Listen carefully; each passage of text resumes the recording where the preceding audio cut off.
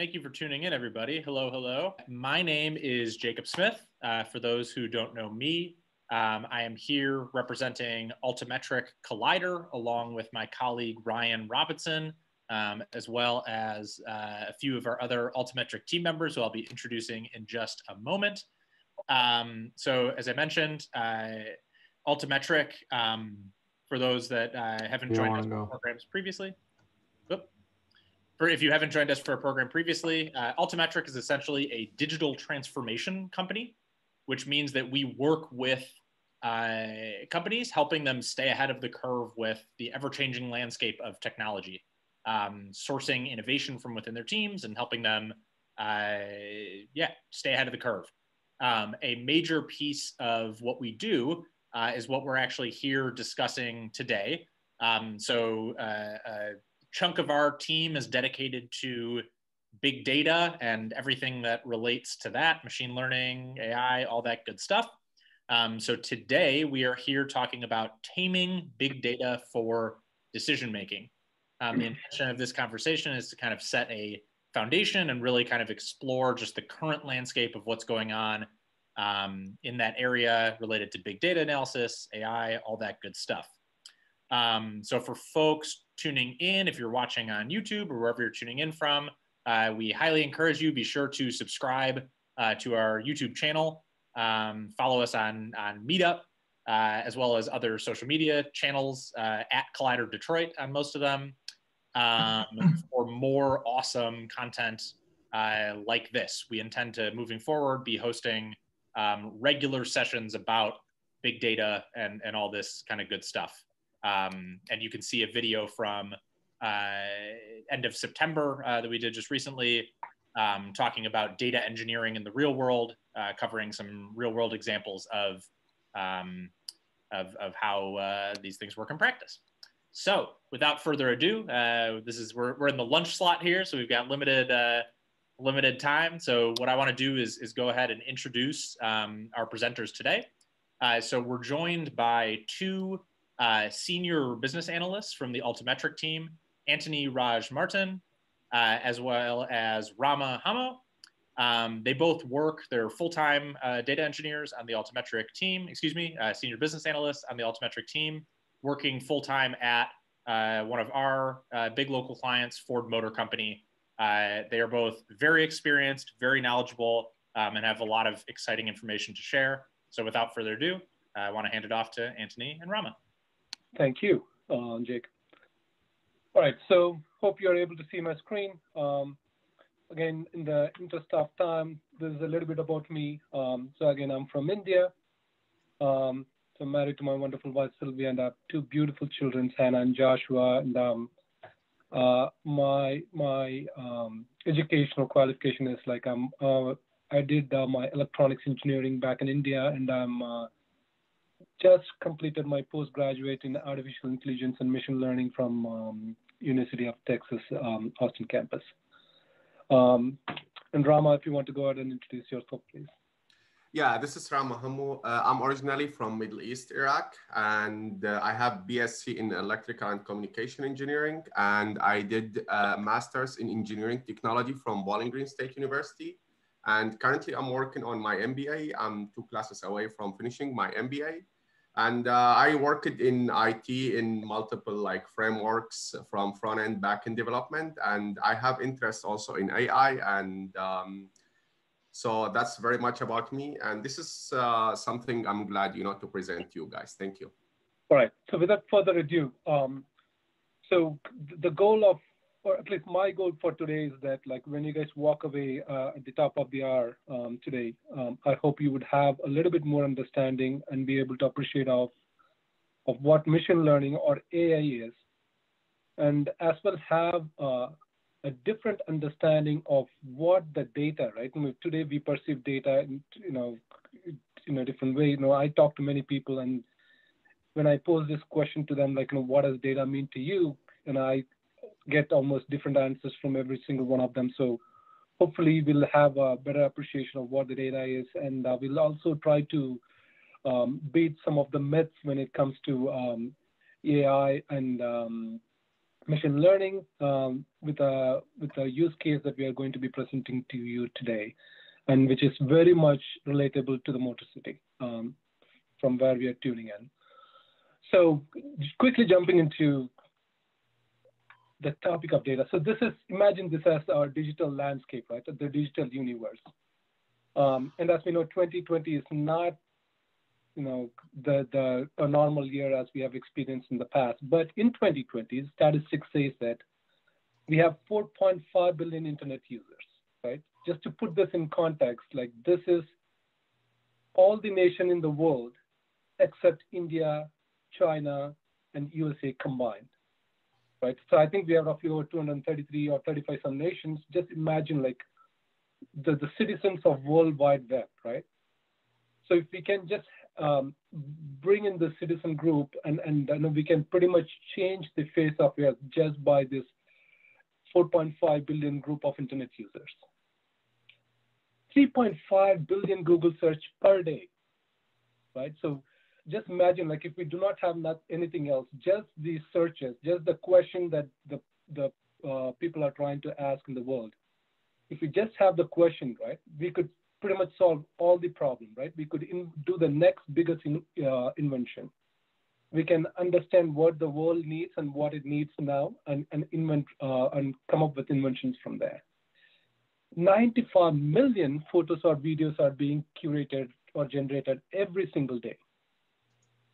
If this was in the right hands of the people, just imagine, right now we could solve a problem or an issue even before we as consumers would know that it's an issue, right? Because when we take an image or photograph of me, you know, of us, we are not just taking a photograph of our face, but also things surrounding us, right? So just by um, all the other um, data points that we could collect from the photographs, if it is channeled to the right source, we could solve so much problem in the world. 5 million tweets per day. That, that blows my mind. 5 million tweets. The reason why it blows my mind is like roughly half of the nations in the world has population of uh, 5 million or less. Right? We could, we could pretty much create a revolution in a country and change uh, the progress of the country, right? Either for good or bad, if, if this tool is used uh, correctly. 7.3 million Facebook photos being added per day. I see Facebook as like people for people, sort of, sort of, you know, Twitter. Um, but with the 7.3 million Facebook, uh, uh, you know, photos or you know the communication that is happening, you know, you know, we do not need any big organization to to help us. You know, we people can help each other uh, just by this one tool that we have, right? Of all, this is thing that blows my mind. Like 306 billion email per day. It's a class of confusion. I know I, I, I often get confused, like why are people are sending so many emails. I'm not so much a fan of email, but this is the truth, the, the fact. As of 2020, 306 billion email uh, uh, uh, is being sent per day. So what does that mean?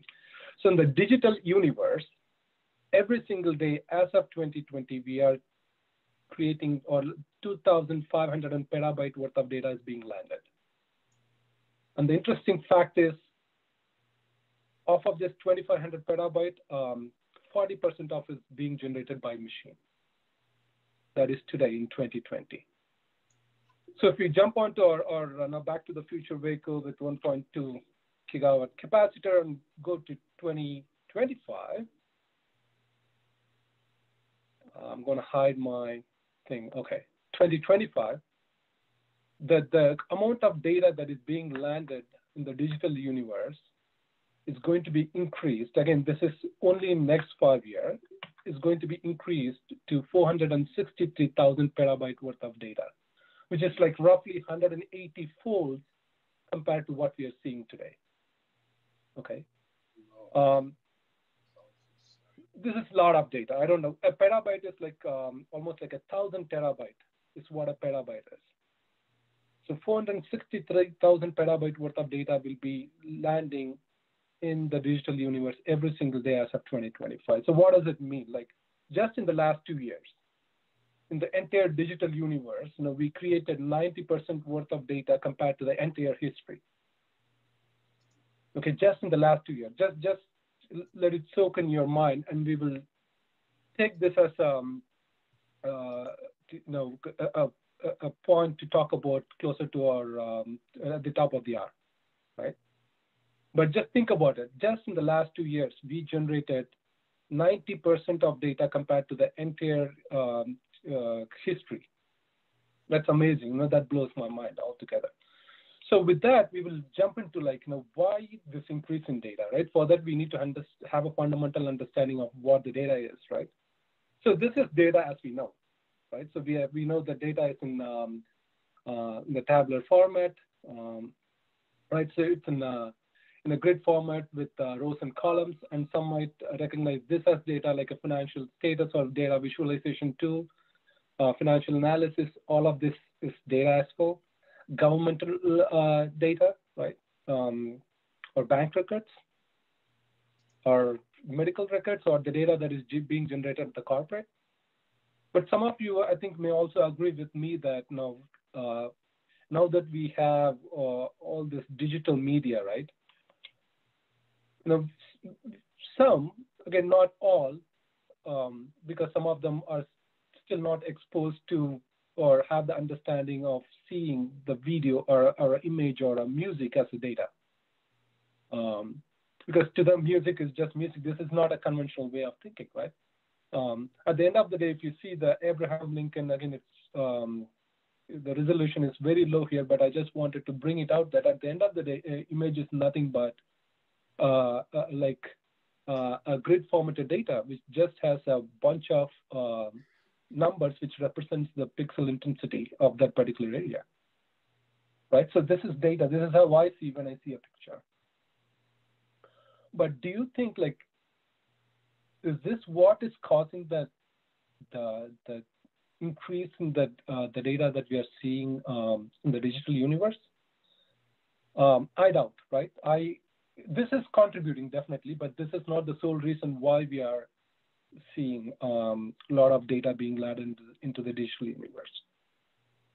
So what I believe is like if you look at all these images, right? So here, now Udi taking up, you know, a photograph of him and someone taking a stroll in their vehicle, exercising, you know, reading a book uh, in your, you know, in your tablet or watching a movie, right? Um, so when people see this, right, maybe you, you would I'm sure you would agree with me that you know, here the context of data would be the, the photo itself that Udi is taking.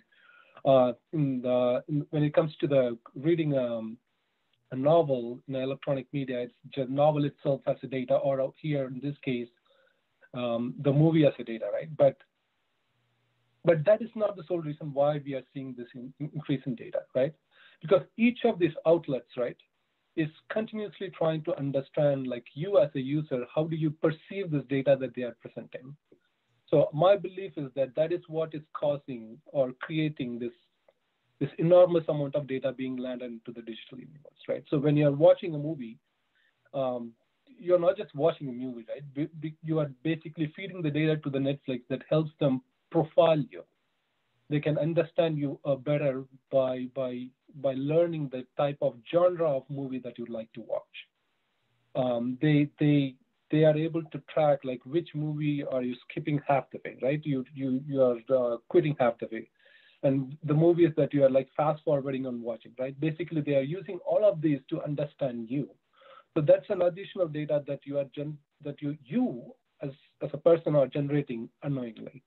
Likewise, right? If you are you know, most of us have a Fitbit, right? You know, we just we, we constantly are generating the data with our heart rate, you know, pulse and whatnot. And if, if you take this example of a, a car, you're not just going right. You are basically feeding in the, the GPS data because most of the vehicles that we are generating at this day and age has uh, a modem in it. So with that, you are able to, you know, continue to feed in the data of where you are going, how fast you are going, how hard you are applying brake, you know. Um, so you're just generating so much data, right? So I want you to look at all this picture and, and just, you know, superficially it may seem like you know, you're just typing something, but underlying to it, right, that you are generating a lot more data that you do not realize.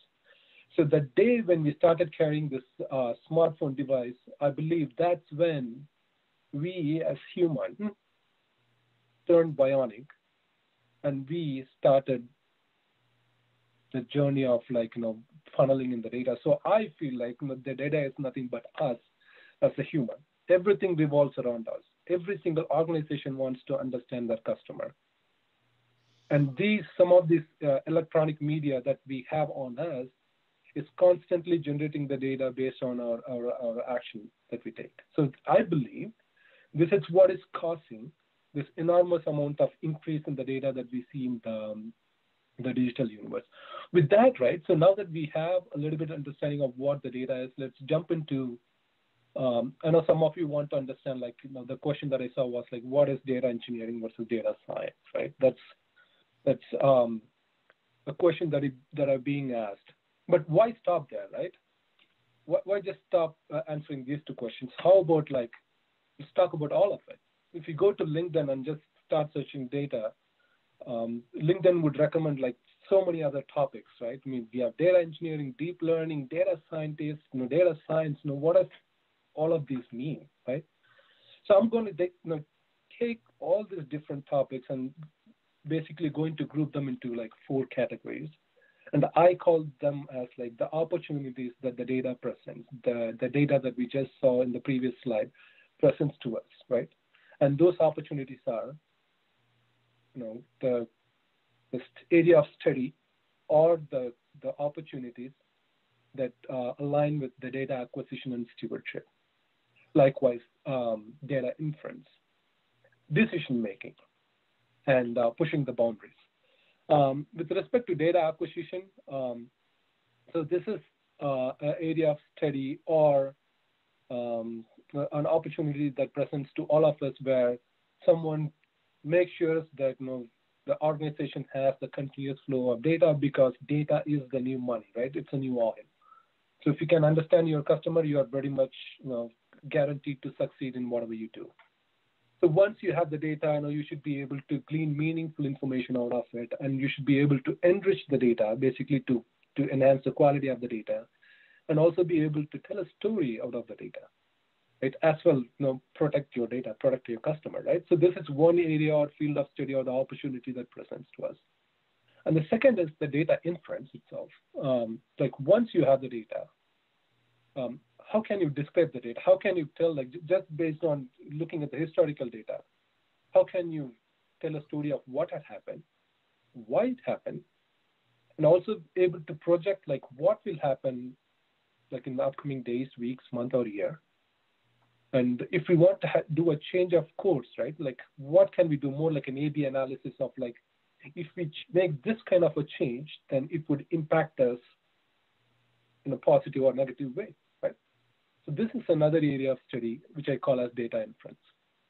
And decision making is, is the glitterati of today, right? We need to, this is machine learning, artificial intelligence where we are able to understand this complex data and be and you know historical data and able to provide the real-time decision making as well like uncover complex patterns um, and recommend personalized um, uh, uh, products for the customers. As well the last one is pushing the boundaries. So this is where all our bright minds come in. They they uncover new patterns. They create new models. They push the boundary of artificial intelligence and machine learning um, so these are the four different buckets that I could think of. But if you still are confused, like, you know, Antony, I do not want to know all of this, right? Just on my face, just tell me like what is data engineering and data science. So this is data engineering, and all of these are data science. So with that, um, let's let's move into the topic of today's topic of what is AI and why AI now, right? So artificial intelligence is a larger, it's a, it's a huge area of study within which machine learning is a portion of it and deep learning is another portion. So artificial intelligence is nothing but manifesting human intelligence to machine. Um, some of you can like easily relate to our autonomous vehicle, where autonomous vehicle is now able to mimic that it's a driver and able to drive itself. But it's basically uh, emitting the human intelligence. Um, the vehicle is able to emit the human intelligence. And machine learning is empowering or enabling the computer to learn. Just simply that. Um, it just want to see the historical data and want to understand it, learn the history. And based on its understanding of what the history, it's able to predict the future. Um, so deep learning, it's, it's a specialized, again, next generational machine learning. That's how I see it. Again, deep learning can, can do much more complex uh, data pattern uh, learning compared to the machine learning. So in today's topic, we are going to focus on machine learning. Again, within machine learning, there are different areas of study, supervised, unsupervised learning, feature engineering, reinforcement learning, ensemble techniques. And under each of these categories, right, for, for example, in supervised learning, there are so many algorithms. Um, but for today, in the interest of time, we'll just focus on the supervised learning and one specific algorithm, um, you know, which we are going to be demoing it um, to the end of this uh, session. So with that, like why A, we saw what AI is. So let's talk about why AI, why now, right? Um, there has been a lot of hype around AI in the past, you know, four or five years. So does it mean that AI came into existence only in the last four, four or five years? No, it's not the case. The first machine learning algorithm was developed in 1950s. But then like 70 years later, like why did it take like 70 years long for for people to recognize and appreciate AI? Right? So for that, I want to take a simple example of matrix multiplication, right? I'm sure many of you know how this works. You just take, you know, a three by two and two by three and multiply these numbers uh, to each of it, and then some uh, like three by, you know, sum of three cross three, four cross eight, 5 cross 6 becomes 71. So if you feed this matrix multiplication, a simple matrix multiplication to your computer, which has um, a, a, CPU in it, right? Uh, at the end of the day, this is broken into smaller unit where it does like addition and multiplication, and each of it is considered as one unit. Right? It takes time, right? It, it has to like first multiply it and then sum it, and then it has to go to the next um, uh, you know, row and column, do the same thing, Again, it would just repeat itself until we have the data. So it's done serially, and it takes time. And um, one of our you know, artificial intelligence algorithm, which is VGG16, um, it has like 138 million such parameters per image. So if we want to train our VGG16 model to be able to predict something, right? We, we let's assume like we are funneling in like one, uh, 100,000 images. So 100,000 multiplied by 138 million parameters is what it has to do to learn uh, to be able to predict, uh, to come up with a, with a model, basically. So with the, with the, the CPUs that we have, as I said, it's a complex core, but has a single thread performance. It takes like you know, first in, first out, uh, first out.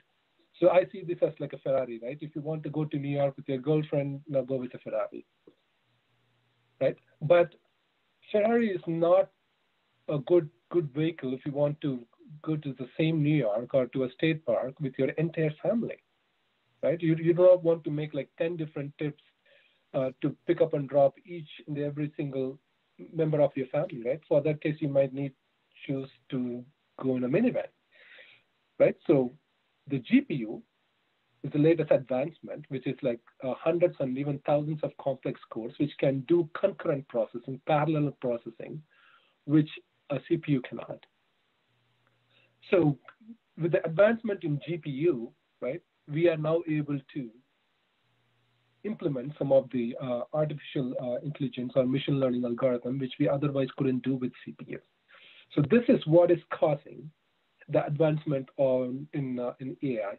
This is one reason, and the other reason is, in fact, like because we are we are generating a lot more data than we did in the history. So that's another piece to the puzzle. So because of this technological advancement with GPU and the data that we are seeing, you know, there is a lot of um, uh, interest around machine learning and artificial intelligence at this day and age. Just to give you guys an understanding, like a few years ago, Google uh, built this supercomputer to do uh, um, uh, artificial intelligence of a problem. So they built their own machine like with 1,000 CPUs uh, with 16,000 cores which costed them $5 billion. And um, they, they ran their algorithm, and it took them a week for the algorithm to execute. Um, and fast forward a few years later, Stanford did the same thing. They used the same data set, but they were able to do the same thing with the help of GPU within $33,000. So just imagine the price difference that the GPU um, price difference, right? From from five billion dollar, which would have otherwise cost if we had used the CPU. Now we are able to do the same processing with the thirty-three thousand.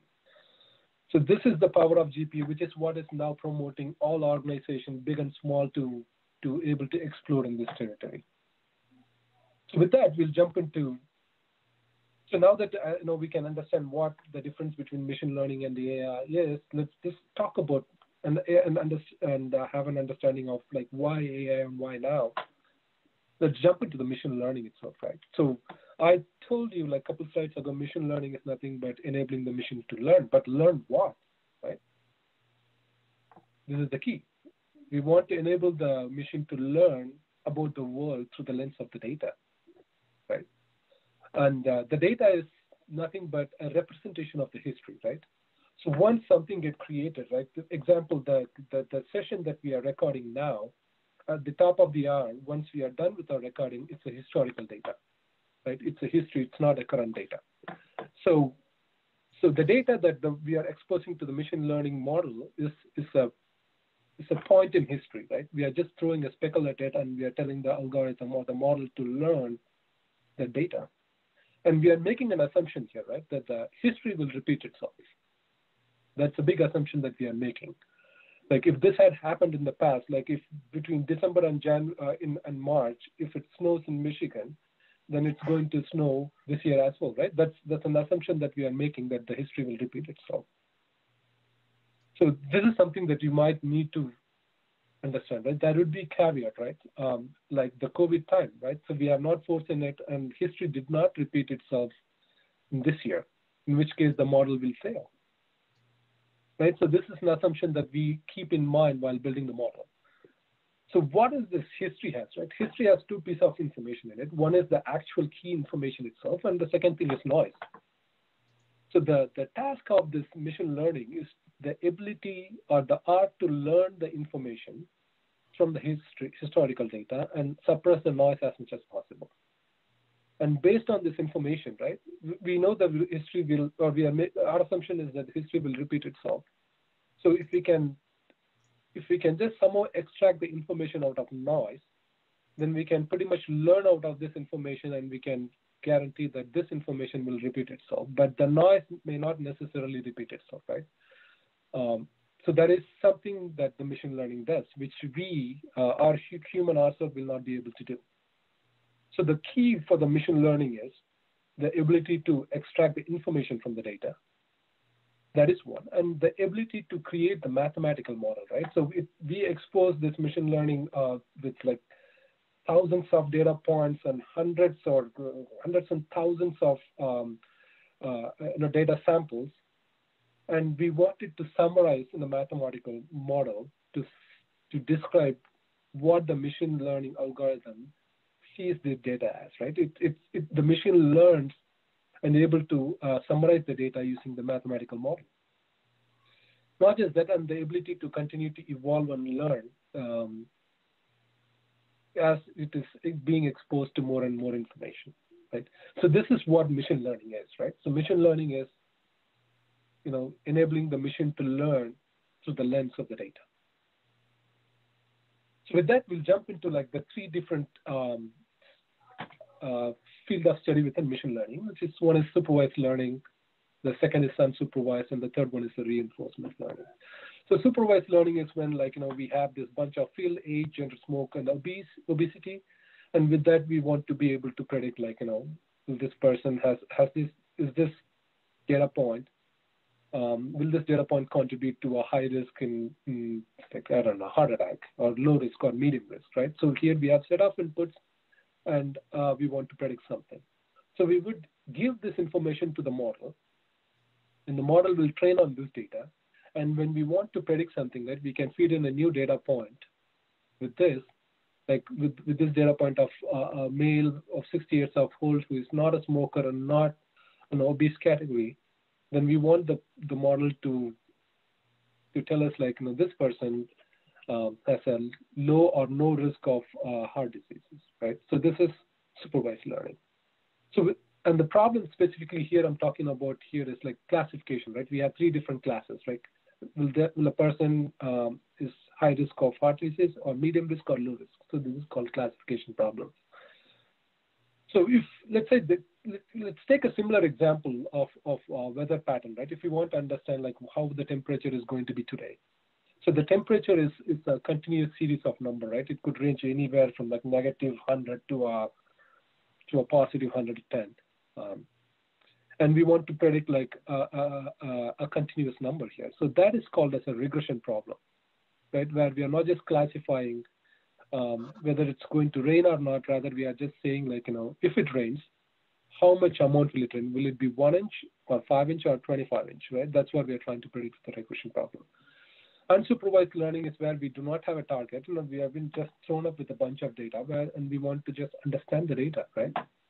Um, so here our goal is like, we just want to understand the cluster of people. Like the red ones are could be like a high risk, the oranges are like medium risk and the blue ones are like low risk, you know, just going by this example. We're just trying to understand the clusters. Um, and dimensionality reduction. So when we have so much data, like how do we clean and only take the most important piece of information that would help us to, to learn more about the world, right? So that technique it's called you know, dimensionality reduction. And the final thing is association rule, um, where like if, if a customer like again, this is very widely used in um, in all the retail industry. Um, so if you go to the grocery store, there is a why, reason why you see like bread and milk and the egg are you know close proximity to each other, right? So they so with the association rule, um, with this logic um, or, or, algorithm, um, the retail industry is able to understand like you know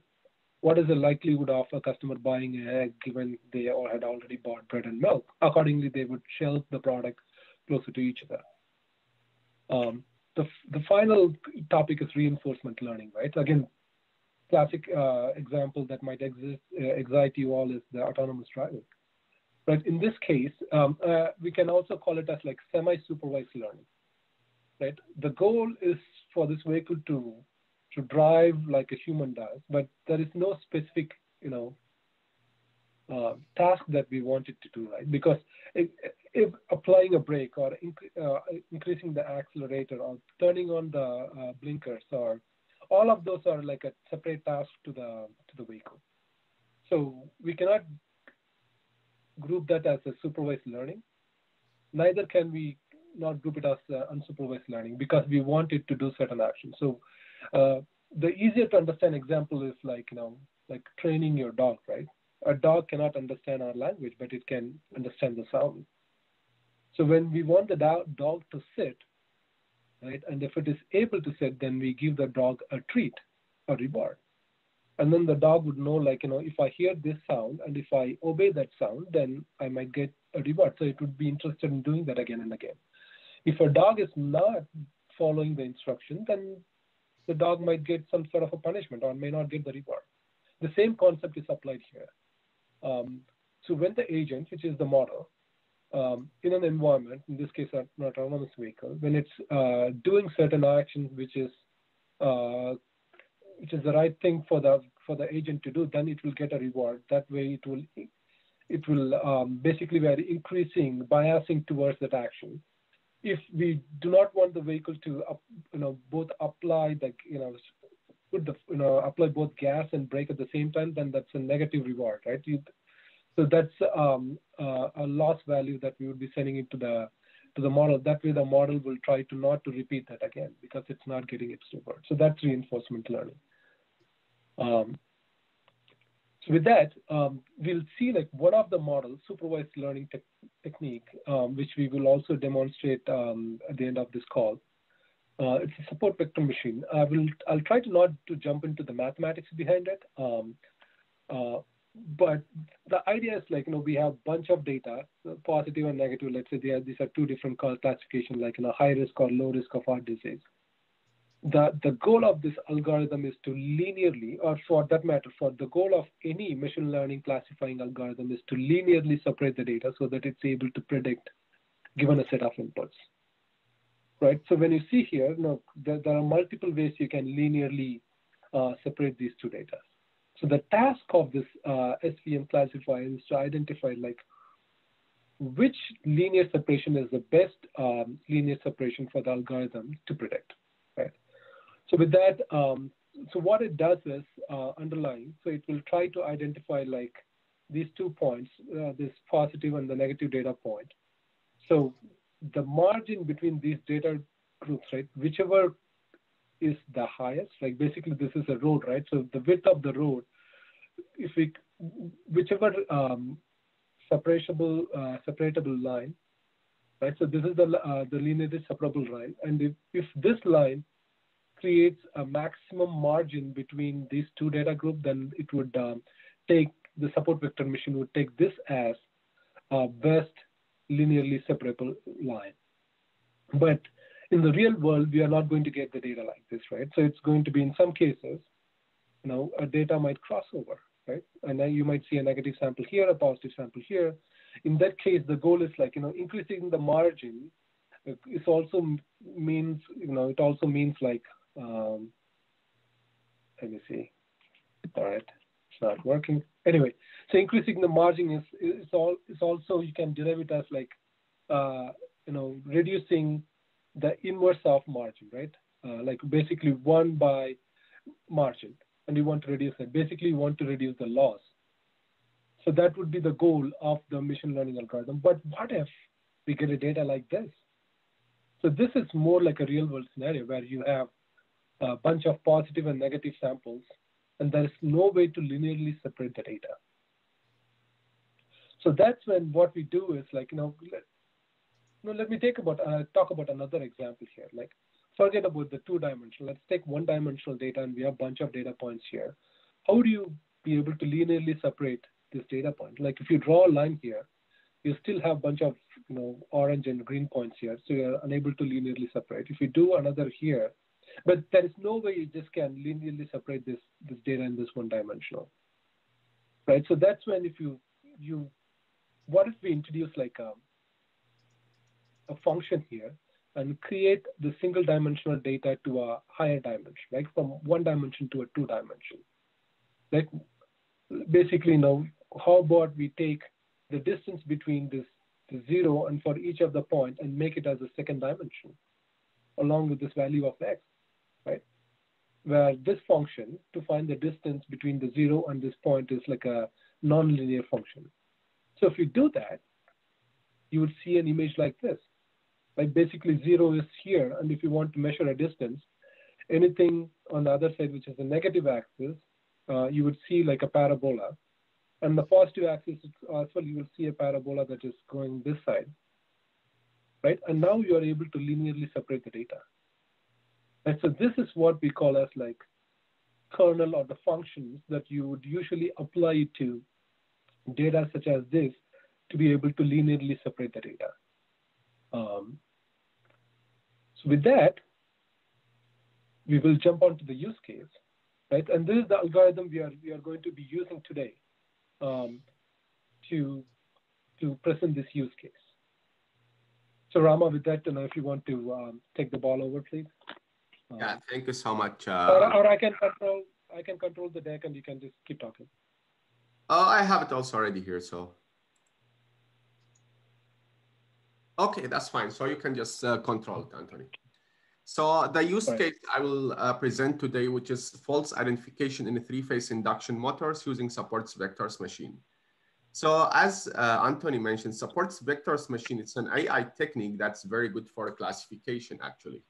And uh, one thing actually just wanted to mention before going into the case uh, study. So basically, you know, like AI techniques, it can be used in any scale. You know, it's not like something can be used only at NASA or Apple or, you know, for GM.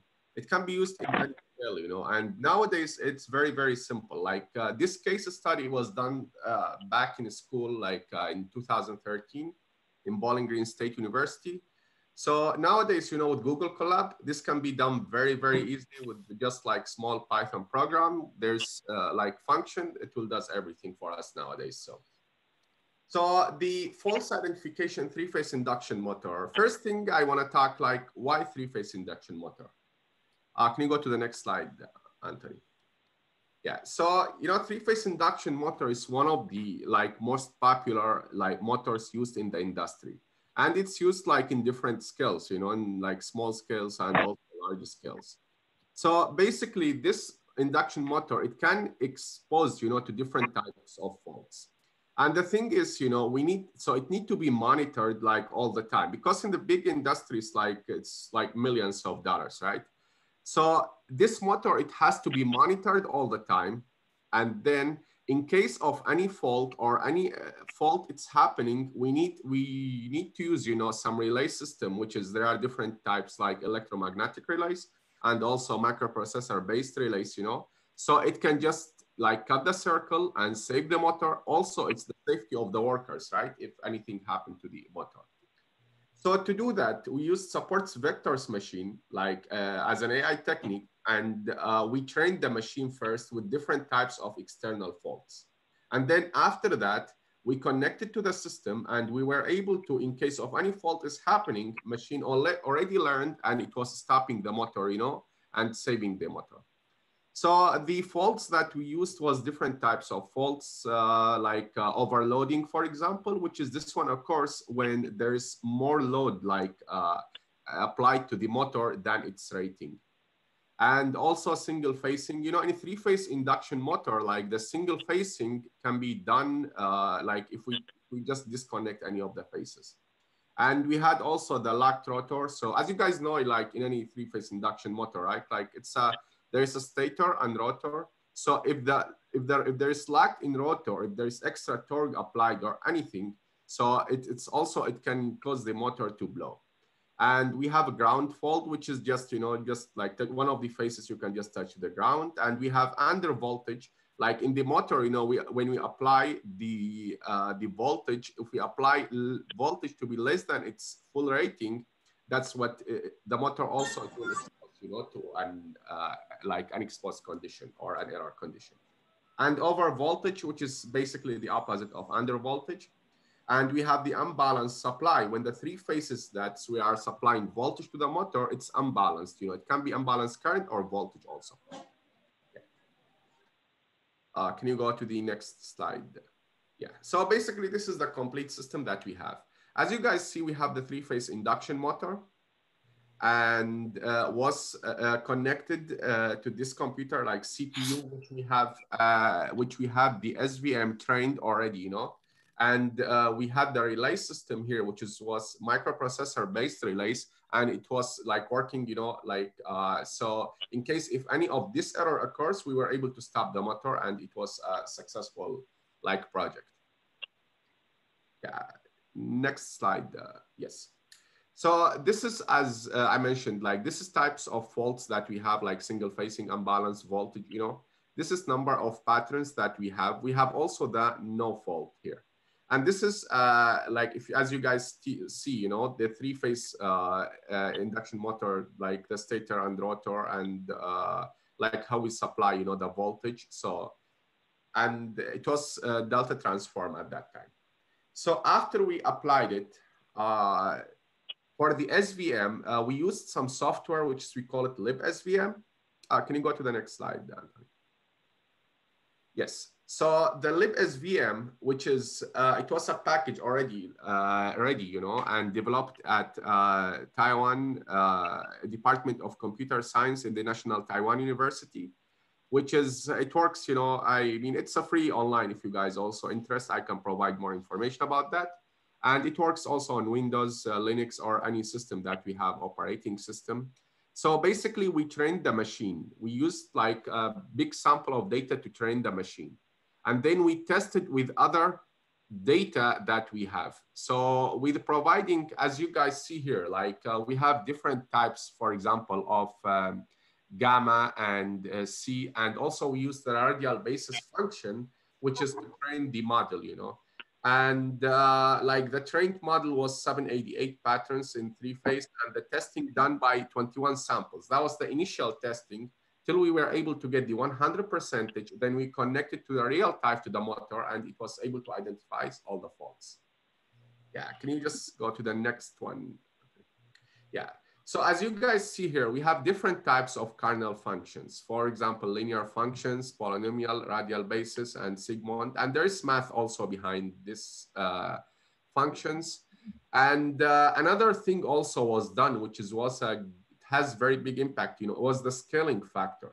So basically, if we provide like the data, you know, the three, we had like three, three phase. So it was three uh, voltages and three currents, six inputs. If we did not scale it, you know, and we tried with the scaling, which we had a very big difference actually between these two. And beside that also, we have the T and gamma, which is uh, parameters used in the kernel functions.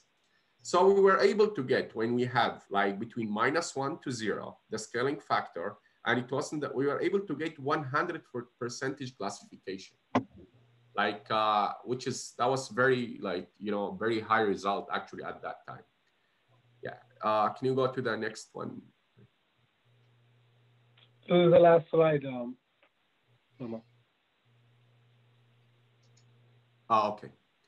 Okay, uh, so uh, another thing I wanted to talk about that, you know, like uh, we also had a comparison between artificial neural network system and the supports vectors machine with the same data, same grid, same, uh, same situations with same types of faults. And for classification for supports vectors machine, we were able to get like much better results, you know. Like the highest one that we were able to get in artificial neural network was um, 98 uh, something. And uh, another point also, you know, for, for example, supports vectors machine, it's a very efficient technique, which is basically, you know, it can be trained with less time, you know, and less effort, you know, and uh, especially nowadays, you know, with this Google Colab and this uh, Python programs, we can do it very easily. But in artificial neural networks, there's like many concentrates and the connection between the networks and the hidden layers. So this was more effective actually for the uh, three-phase induction, like for ident for the classification of the external faults. And uh, actually at that time when we did this one in 2013, like to the best of our knowledge was the first time implemented in the world, like a supports vectors machine for identifying the external faults of three-phase induction motors. Right. Yeah. And if I may add a couple things, right? So there, there was yes. the specific reason why we chose like we, we need to bring this use case um, to to basically you know expose a couple of myths, right? Which I think Rama already touched upon. Machine learning and artificial does not necessarily have to be done only by big industries, right? Even a small or medium scale industry, which is operating with few motors and all, like you know, with a simple setup like this, right? They would be able to control their um, you know their motors and, and that's what we wanted to demonstrate, right? It's not out of reach nowadays um, for for you know big industries, right? At your home, like with your with your gaming laptop, right? All you need is like a, a laptop with good um, uh, uh, video card, right? Um, and if you have a gaming laptop, you already have with, uh, the information with a good GPU power, you can pretty much build your artificial intelligence model and connect it to like a, a, a, motor or maybe a camera to be able to make uh, decisions for you. Right? So you the only thing that you need is though like the data points to to train your model. So that's where you have to spend time and curate the data for the model to learn enough about the world right? So you cannot just um, you know, if you want the you know example if you want the machine learning to predict cancer among the patients then you cannot just feed all the patients that are the data of the patients who have diagnosed as cancer, then the model would be biased in predicting everybody as like uh, patients who, who have cancer. So you have to expose the model with enough data variation, enough combination of data with with with um, patient data who who have been both diagnosed as diagnosed as cancer patient versus otherwise, right? You have to curate so much data and then feed that into it then your model will be able to perform. So the 90% of work in the machine learning, or for that matter in artificial intelligence as well, is like to prepare your data, enrich your data, and identify the data points that you want to pass into your model. Right? That's 90% of the work. 10% of the work is building the actual model. Yeah, actually, uh, just to add to your point, uh, actually, that's a very uh, good point. So can you just go to the slide that we have the data? Yes. So if you guys see here, for the no fault, we used 154 patterns here. And the rest will be just for faults. Because the assumption is, you know, like the motor will work like most of the time, you know, in a very normal like uh, uh, conditions, right? So if any time, you know, there is an like abnormal condition, we, we need to identify that. So basically, you know, we need also to be careful when we are like using like, uh, you know, using this data type of data, number of patterns, all these factors actually affects the training model. And the accuracy will, is, will increase, you know, as long, you know, we have like better training and we have more patterns, you know, provided to the machine. So. Very yeah. cool. So just to chime in quickly, so as we uh, as we get close to uh, time here, I just want to make sure that we leave a few minutes for for questions as well. I don't want to cut you guys off though. Yeah, we can jump into Q and A. Cool. So a couple of questions. Uh, what books or other resources would you recommend for someone looking to to take a deeper dive and learn more about machine learning? All right. So um, if you go to YouTube, uh, and type machine learning Stanford or machine learning MIT, they have published the entire course structure in YouTube. So with that, you can pretty much get, you know, learn the entire machine learning and, and become an expert just by going to YouTube. And there are a bunch of books um, which uh, you know, I have. Again, most of these are being uh, curated by you know AI enthusiasts. So um, so again, this is a very much this is a field where people are still exploring, still uh, trying to learn better, and and coming up with a better and better model.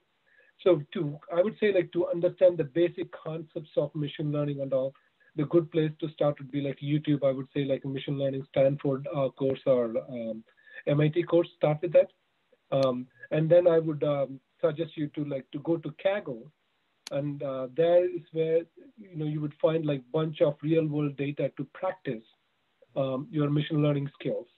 Um, so with these two things, I, I, I, think you know you can become an expert. From that point on, uh, like other blogs uh, like um, uh, Vidhya Analytics, I think, and uh, there are different blogs for um, um, like Medium and, and whatnot, right? So those blog people are like constantly, you know, curating different materials. So that would be another good read as well.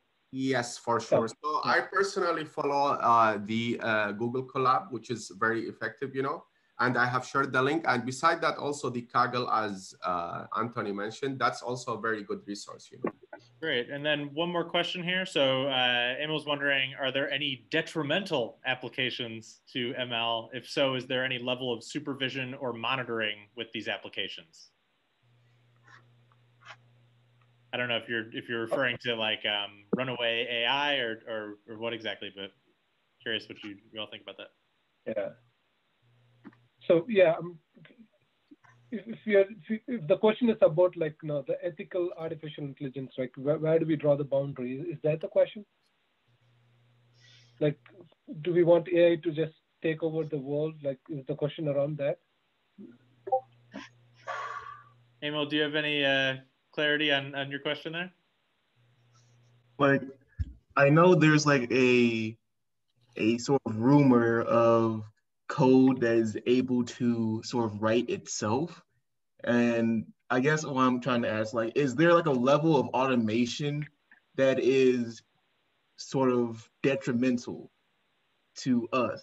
And if so, is there any like regulation for that level of automation? Right. Um, I, I, do not think there is any regulation as of now, but um, so I, I think I, I see AI as like a, a potential opportunity. I, do not feel like it would replace us eventually. Um, example, when computer came in, right, people thought like computer is going to take over the world, but the ground truth is like, you know, it, it, the opportunity as we know today is just different compared to what we have done in the past. Um, so I feel like, you know, AI would present us a different um, sort of opportunity but when it comes to uh, ethical AI, that I do agree, right? You know, you can, you know, for example, you can use your phone, your smartphone, for good causes, or you can use your smartphone to cause some bad damage, right? Take take uh, some inappropriate photos of somebody and, and ruin their life. So at the end of the day, like it comes to like ethical of, of, of artificial intelligence, right? So I do not think there is any regulation around it. Um, you know, if, if, it gets into a bad hand, you know, can people cause some harm? I think so. If you know, people could do it. Um, but uh, as long as, and as far as I know, most of the people that I follow at least are using it for um, for good causes. So only time will tell, like you know, if, um, like when it when it comes to the regulation, right? Um, so, but as of now, I, I as, as now at least I could recollect of, I do not think that there is any regulation around AI. And that is one of the things I believe uh, Elon Musk is trying to push real hard in the capital, like to to get some regulation around it. Um, with Google's you know, deep AI, you know, you can go to YouTube and watch his uh, one of his podcasts. He was very troubled with it, like not having a regulation around AI. But yeah, that's again, we as far as I can recollect, we do not have any regulations. So actually, I just want to add to Antony's point, you know, like the regulation, it will be just on the data, right? Because now if you see like our data is everywhere, right? And even like Facebook, they track us like on the phone, wherever we go. So the question is, how much is too much, you know? Is this amount of data or this amount of privacy that everybody has, you know, is this enough? Or no? I, I think that's a big debate actually. Even like in congress they talked about that you know with the, like mark zuckerberg. So there are more it's, it's the ethical part it comes with the data i think it will be more than you know the ai part. Mm-hmm. very interesting. Well just in the interest of time um, if you all can stick around for a couple more minutes we might be able to sneak in one more question but i want to uh, make sure that i have a chance to thank uh, Rama and Antony for this extremely insightful conversation. Uh, as Vijay mentioned in the chat here, uh, it's a lot of information to cover in an hour, and clearly there is an opportunity to continue uh, diving deeper, which we certainly intend to do. Uh, the uh, plan here is to be hosting regular sessions diving into data engineering, big data, um, and all of these different topics. Um, don't forget to follow us on Meetup on to see updates about upcoming events, uh, YouTube to see past event recordings, um, and all other social networks, uh, Collider Detroit. Um, we appreciate you all joining. Definitely do not be a stranger. We'd love to see you again soon. Um, we do, uh, for those who aren't already members, we also have a Collider uh, Slack channel where you can ask questions as well. And yeah, definitely encourage everybody to connect and uh, keep throwing out great suggestions. With that, let's uh, hope everybody has an awesome rest of your day. Thank you. Thanks, everyone.